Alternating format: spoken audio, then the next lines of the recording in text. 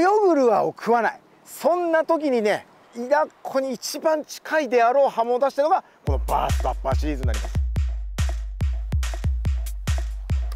はい食った。よし食った。食いました。よ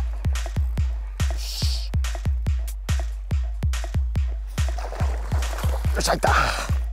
やりました。バーストアッパー80バーストアッパー 80F です。これはねまあ現段階ではねバーストアッパー 140F があるんですけどバーストアッパー使うのはまあ基本やっぱ変色したシーバスですよね。例えばイナッコであったりチアユであったりねコノシロであったり泳ぐルアーを食わない。そんな時にね攻略するように作ったのがこの IGK バーストアッパーです。もうね実際僕今までこう食用釣り師やってきて一番サンプル作ったのが実はバーストアッパーシリーズなんですよ。特に140それはなぜかと言いますとその IGK の出す波紋。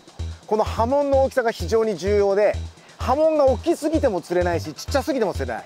イナッコに一番近いであろう波紋を出したのがこのバーストアッパーシリーズになります。で、まあ、サイズの使い分けはまあ秋口ですよね。やっぱベイトサイズが大きくなってきたらバーストアッパー 140F もしくは逆に大きいのを使う時はベイトがねいない時が実は効果的だったりするんですよ140は。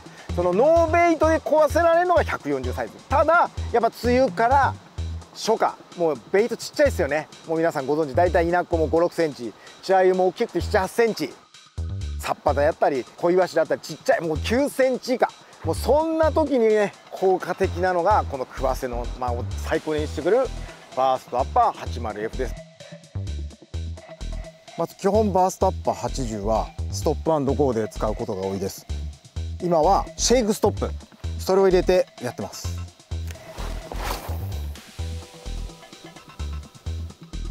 ねベイトが少ない時はすごいストップゴー有効なんですけどベイトが多いのでちょっとルアーでアピールして止める。これ面白いのが、ね、やり続けてるとひたすら誤爆なんでこうシェイクしながら時折1秒ぐらい止める。これで食わせの間を与えてルアーを襲わせる感じですね。だ僕はまあ基本やるのは3つのアクション。まあ水面シェイクのストップ。シェイクストップとあとレバージャーク。これはもうねレバーブレーキしかできない釣り方なんですけど手首が疲れない。もうリーリングだけでルアーを左右に首こう振らせる。まあストップゴーでしたらまず投げて1メーター巻いたら1秒止める。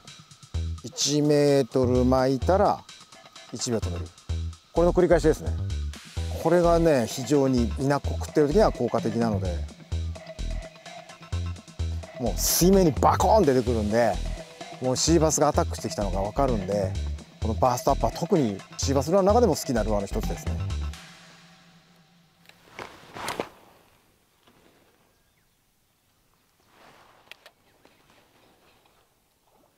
あ今誤爆した。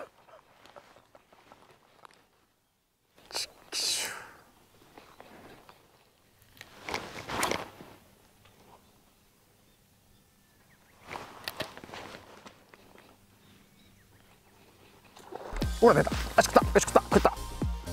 食いました。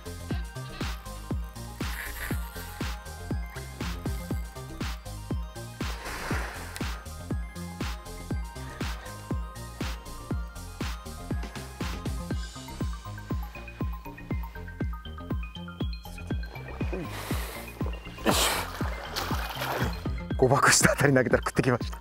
嬉しい。やべえなパースタッパー80難攻不落のイナッコボイル攻略してます。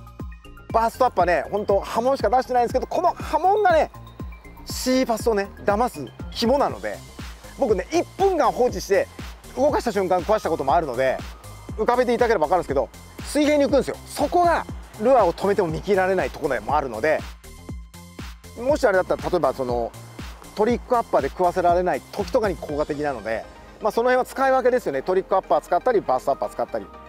時々これね唾出すんですよ。ペッて泡。これがいいんですよ。その泡がねシーバス好きみたいでカバッて食って。よ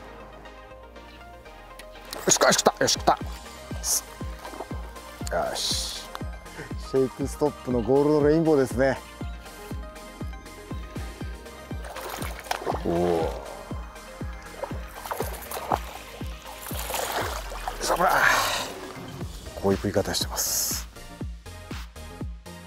いやここがざわざわしてる時。そんな時に効果的なので。で実際ねこのバーストアップ面白いのは昼夜どっちもいけます。このちっちゃいことによって夜でもいけちゃう。だから24時間どの時間帯でも食わせられるので水質が濁ったとこ水質がクリアなとこどこでも対応できるので身のバイブレーション心ペネ釣れない時の状況を打破できるのでぜひバーストアッパー 80F を試してみてください。